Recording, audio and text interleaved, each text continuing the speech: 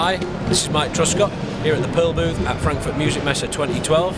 As you can see, this is one of our brand new finishes, Scarlet Sparkle Burst. This is featured on the Mike Mangini tour kit we have on display. The kit is a reference pure shell featuring our new fat tone hoops. Also integrated into the kit is the TruTrac heads from our ePro Live. The drum kit also features 26 by 16 bass drum, 228 and an 18 by 14.